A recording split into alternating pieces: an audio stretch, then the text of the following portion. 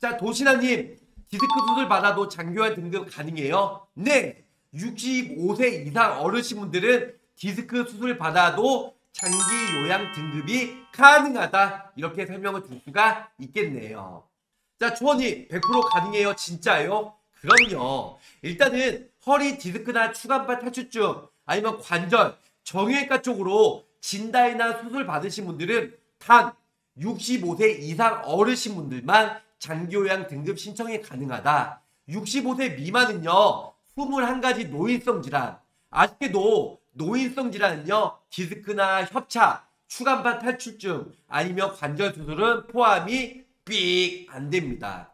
21가지에 대해서 노인성 질환은요, 파킨스, 알츠하이머, 뇌혈관 수술, 뇌혈관 진단, 이러한 진단을 받고 6개월 동안 호전이 되지 않아야 일단은 장기요양 등급 수급자로 일단은 신청이 가능한데요. 하지만 65세 이상 어르신 분들은 아 정말 세월의 장사가 없어요. 정말 허리가 아프고 디스크 수술 진단받고 관절 수술하고 인공관절 수술했다 아니면 회전근개 파열 수술했다 여러 가지 수술하신 분들은 100% 아니 200% 300% 3등급 4등급 나온다 이렇게 설명을 드릴 수가 있겠습니다.